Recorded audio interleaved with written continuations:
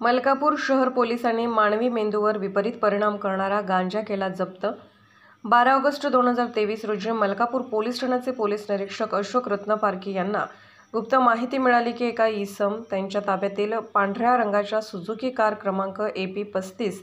A S तेवीस सत्तेचाळीसमध्ये मानवी मेंदूवर विपरीत परिणाम करणारा गांजा अंमली पदार्थ वगळून राष्ट्रीय महामार्ग क्रमांकचे वरील खामगावकडून मलकापूरकडे घेऊन जाणार असल्याची बातमी मिळाली. म्हणून जिल्हा पोलीस अधीक्षक सुनील कडासने अप्पर पोलीस अधीक्षक खामगाव अशोक थोरात उपविभागीय पोलीस अधिकारी मलकापूर देवराव गावडे यांच्या आदेशान्वये ठाणेदार मलकापूर अशोक रत्न पारखे आणि त्यांचे सहकारी पंजाबराव शेळके तसेच डी बी पथकाचे के बी तायडे आसिफ शेख प्रमोद राठोड गोपाल तारोळकर प्रवीण गवई आनंद माने गोपाल इंगळे मंगेश चरखे असे पेट्रोलिंग ड्युटी करत असताना सदर बातमीची पडताळणी करून सदर इसमावर कायदेशीर कारवाईची तयारी करून छापा कारवाई करण्याच्या उद्देशाने उपलब्ध वाहनाचा शोध घेत असताना सदर वाहन कन्हैया हॉटेलच्या परिसरात पार्क केलेले दिसले व त्यातील दोन इसम सदर वाहनाच्या पाठीमागे उभे होते. पोलिसांना पाहून पण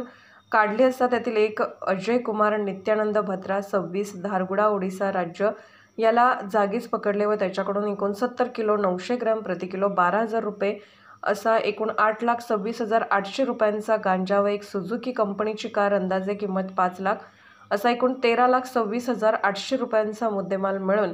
आल्याने पोलीस स्टेशन वलकापूर येथे गुन्हा क्रमांक चारशे एकोणीस दोनशे तीन कलम आठ क वीस ब व एन डी पी एस ॲक्टप्रमाणे गुन्हा दाखल करून अटक करण्यात आली आहे. ए व्ही न्यूज मराठीसाठी मोहम्मद फारूक खामगाव.